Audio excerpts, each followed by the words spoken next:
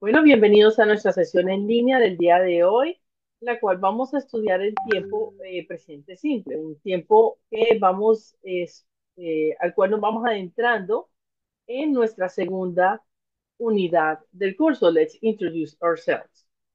Welcome to our online session for today, in which we're going to study the subject of simple present tense, which is a subject that is developed in the second unit of our course let's introduce ourselves. So first, what we need to notice is the usage that we can give to the simple present tense. We have to identify four of these applications of this uh, verb tense. When we want to talk about habits or things that we do on a regular uh, on a regular base, day to day, or just um, activities that we do very often. When we want to talk about future plans or schedules, we use the simple present tense, even though it's uh, uh, these are events that are understood to be developed in the future. We use the simple present tense.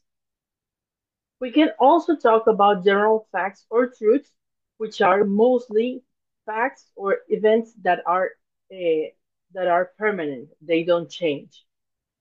Or when we talk about present facts or truths that may change, but at the moment uh, they are they are true and they are not expected to change from one day to the other. Entonces, cuando comenzamos a estudiar el tiempo presente simple, una de las cosas que es muy importante eh, tener presente es cuando nosotros vamos a usar este tiempo presente simple cuáles son esos usos o esas aplicaciones. Entonces les mencionaba aquí que tenemos, cuando hablamos de nuestros hábitos o actividades que realizamos en nuestra rutina diaria, vamos a usar el tiempo presente simple. Veamos aquí unos ejemplos. I always drink coffee at work. Yo siempre tomo café en el trabajo. He goes to bed at 11 p.m. Él va a, su cama a las 11 p.m. They often eat lunch at school. Ellos eh, permanentemente o frecuentemente eh, almuerzan en el colegio. ¿Listo?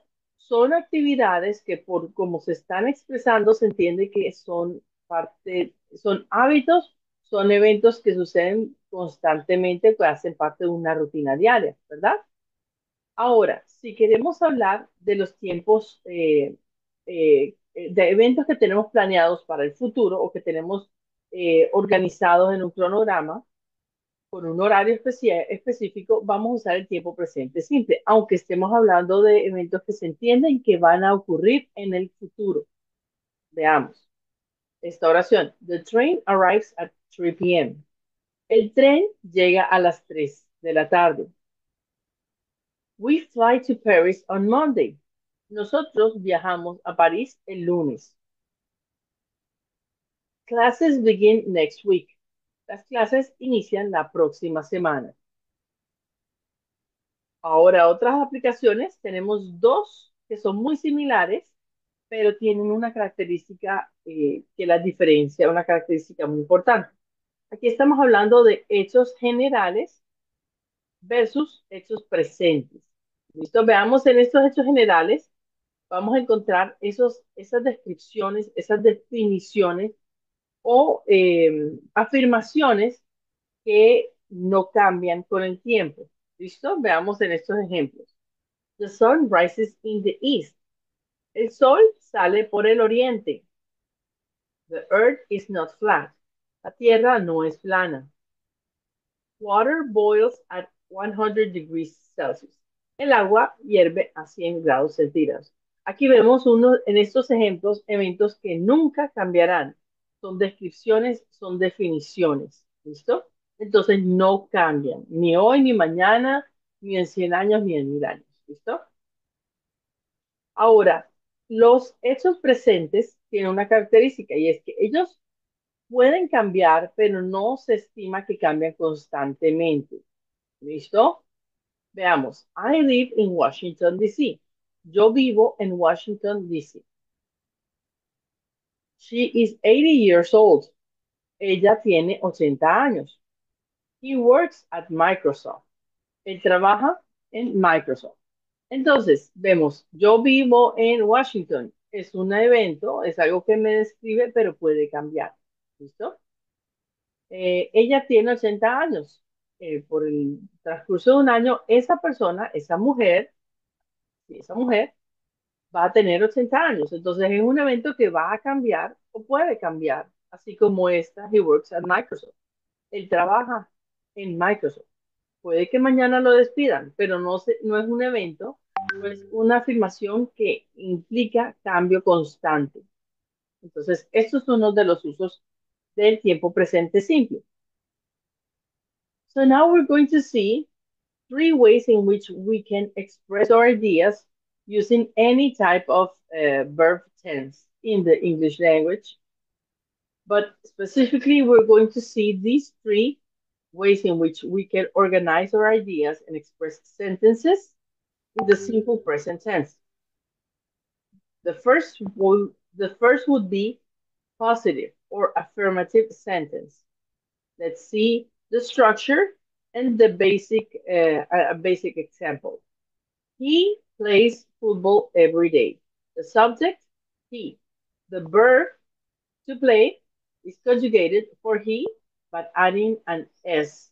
He plays football every day. This is the complement or the object of the sentence. The subject, who does the action, the verb in the tense that we are trying to express that event, in this case would be plays, and then the object, what does he play? He plays football every day. If we want to uh, state that this is wrong and we want to uh, deny that event or that sentence, we want to correct that information, we would have to use uh, the negative sentence, which would be the subject, he, then we use this verb to do for he, she, or it, it would be does. And for I, we, you, they, we would use do. Okay. So he does not or doesn't play football every day. If we want to ask about something using the simple present tense, we would have to follow this structure do or does according to the subject. If I'm talking about him, right, I would have to use does. Does he, the verb in this case, will not have any modification, any change on the S or ES because the auxiliary verb to do carries that tense. Does he play football every day? And we finish by uh, putting the a question mark. Very important. This is very important. And we can identify when it when it's a question that we're uh, listening or that we're receiving or reading because it starts with the verb, specifically the auxiliary verb to do. Listo, entonces tenemos el tiempo presente simple. Vamos a recordar que tenemos tres formas en las que podemos expresar nuestras, eh, nuestras ideas en el idioma inglés y así en todos los demás idiomas. Podemos tener oraciones afirmativas, aquí positivas, ¿verdad? Afirmaciones negativas o afirmaciones interrogativas o lo que llamamos preguntas. Veamos aquí la estructura más sencilla para describir cómo organizaríamos nuestros elementos en una oración. Recordemos el sujeto, quien realiza la acción, el verbo, la acción que se realiza, el objeto es hacia quién o sobre quién se dirige esa, eh, esa acción. Y el complemento, que pues es cuando queremos eh, dar más información o queremos completar mejor la idea que estamos describiendo en, nuestros, eh, en nuestras oraciones.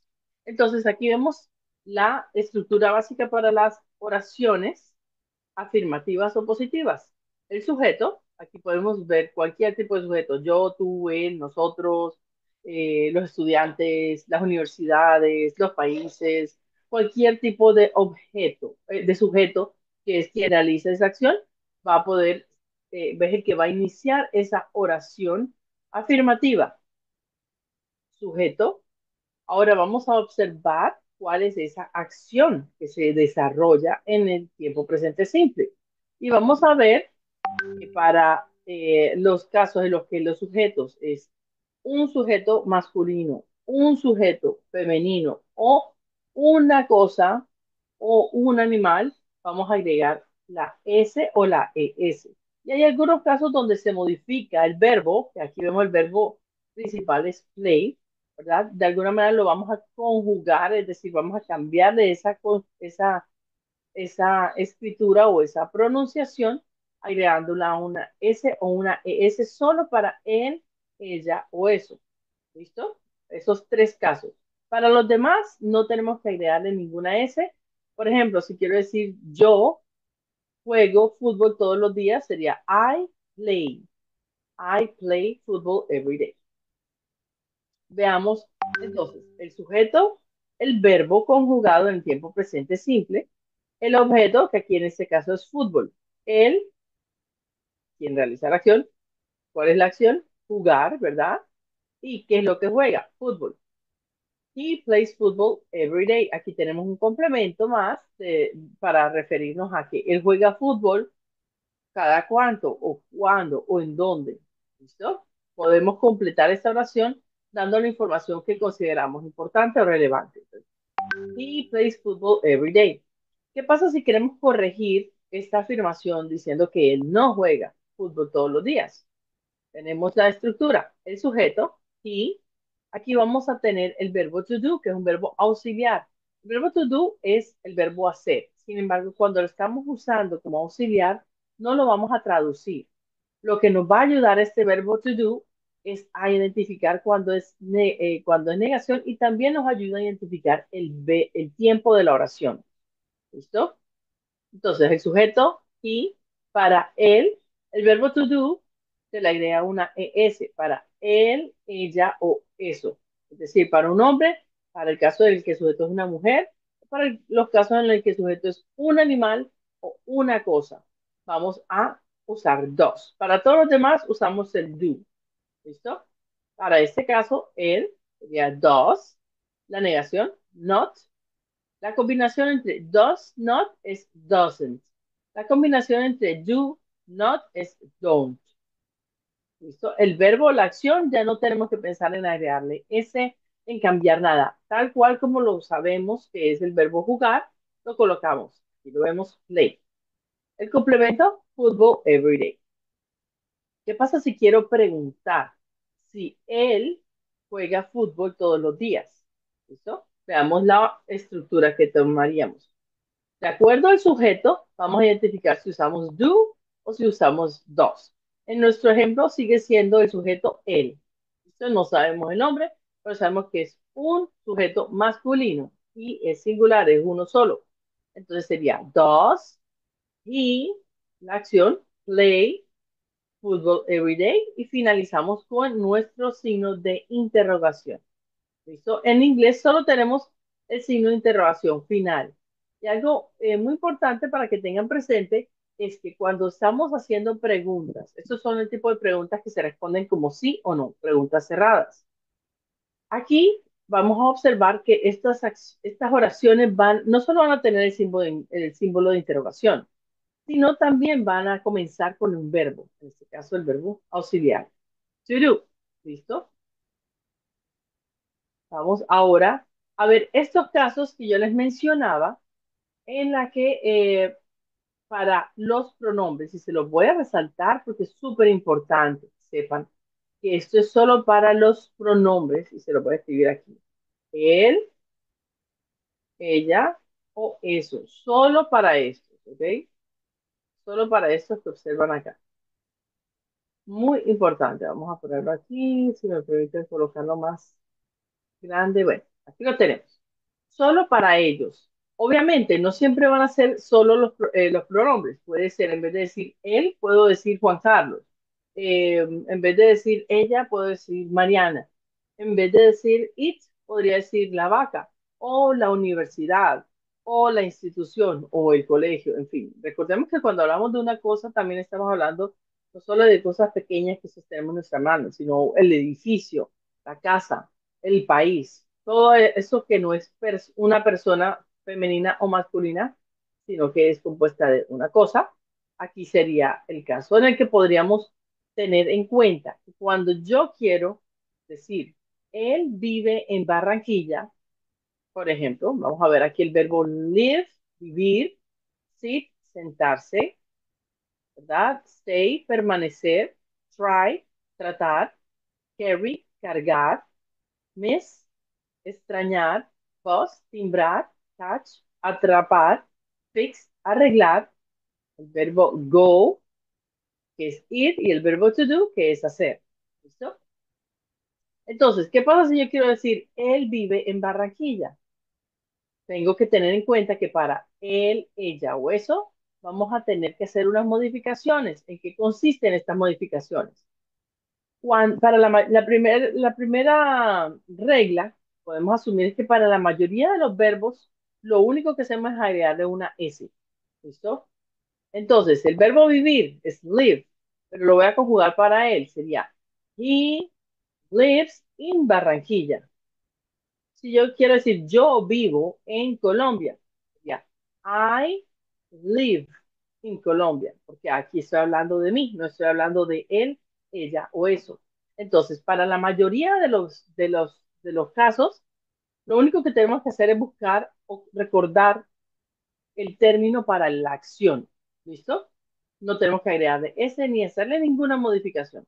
Pero cuando tenemos, como les mencionaba, cuando tenemos eh, estos casos de ella, él o eso, vamos a agregarle una S o una S.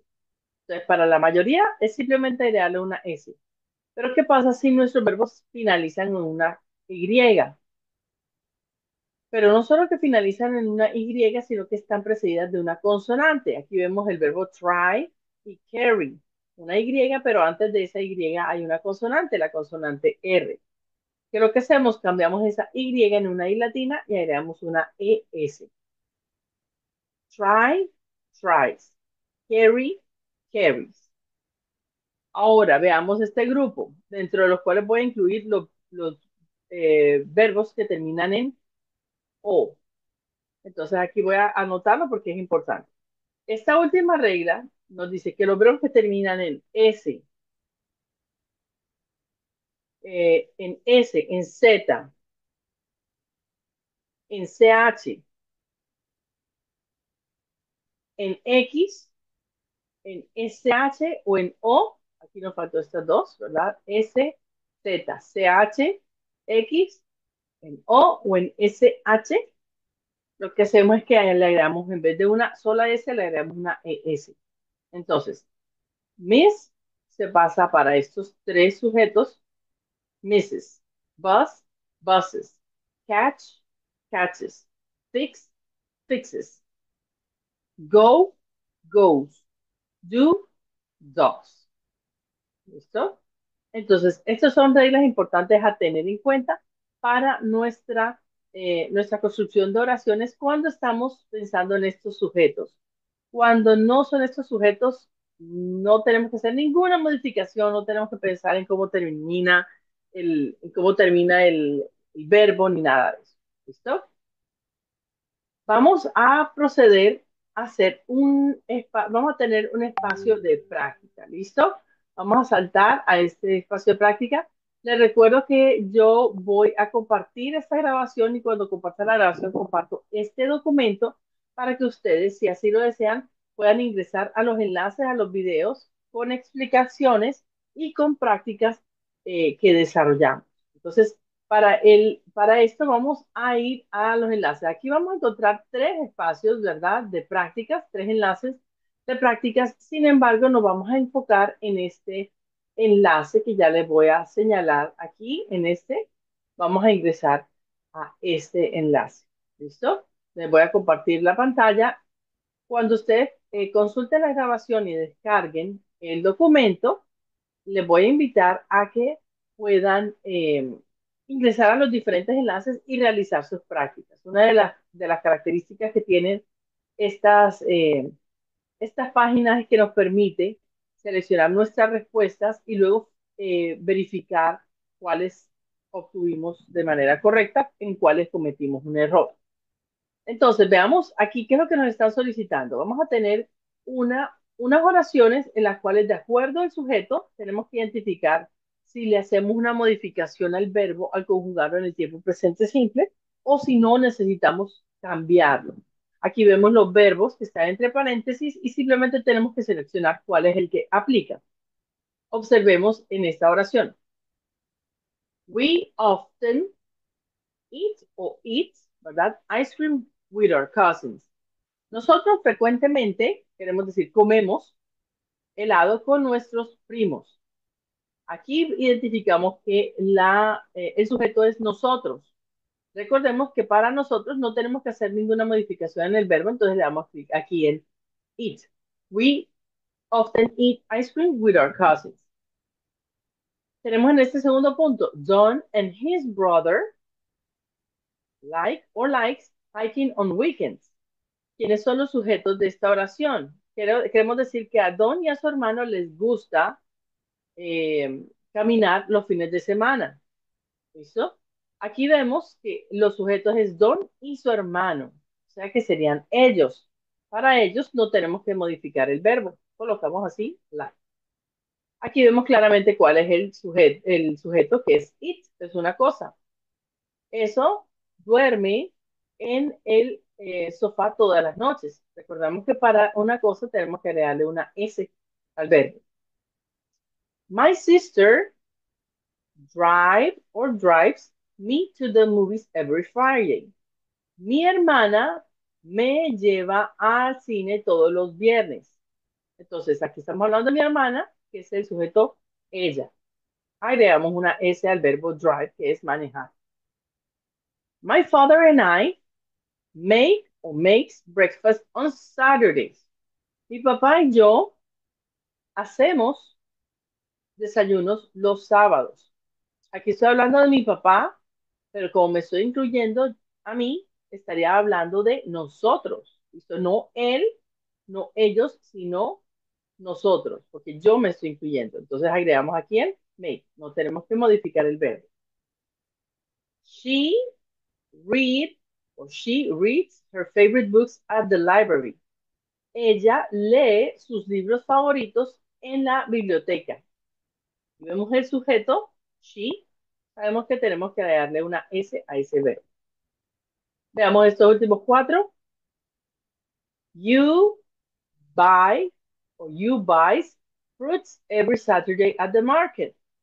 Estoy hablando de usted, ¿verdad? O de ustedes. En este caso no importa porque lo que tenemos que hacer es identificar que no tenemos que agregarle una S para conjugarlo en el tiempo presente simple. My family pray or my family prays at the temple every Thursday. Aquí el sujeto es mi familia. Entonces, mi familia, en este caso sería it, ¿verdad? Sería my family prays at the temple every Thursday. The lions often roar or roars very loudly. Los leones frecuentemente rugen muy fuerte. Entonces aquí son los leones, serían ellos, ¿verdad? No it, sino they porque es plural. The lions often roar. Recordemos, al ser plural, ya no es it, sino they. Y para they no tenemos que modificar el verbo agregándole una S. Y finalmente tenemos aquí, I take o I take pictures of, eh, with my family on special occasions. Yo tomo fotos con mi familia en ocasiones especiales. Para yo, recordamos, simplemente escoger el verbo sin hacer modificación. Tenemos la opción aquí darle finish y verificar nuestras respuestas. ¿Listo? Aquí eh, tengo que revisar porque aparece, en vez de eh, my family lo asume como si fuera plural, aunque este término implica varias personas, el término en sí es singular, entonces no podría ser my family pray, my family prays. Esta es la respuesta correcta. Tengo que ver por qué aparece allí, como si estuviera mal. Bien, ahora vamos a volver a nuestro eh, documento Con esto eh, lo hice de manera un poco más express para que tengamos tiempo de atender las preguntas, las dudas que de pronto tengas. Eh, como les indico, nuevamente podemos hacer eh, las prácticas de estos enlaces y mi invitación es a que ingresen a esos enlaces con calma, se animen a desarrollar y a contestar las preguntas que les dan allí y cualquier duda que surja de estas me la van a poder comunicar en el foro de dudas e inquietudes. Pero por ahora tenemos entonces este momento para que eh, cualquier pregunta que tengas eh, me puedas comunicar, si te quedó claro, alguna recomendación, quedo aquí pendiente para que si deseas activas tu micrófono o eh, por el espacio de chat me escribes tu pregunta.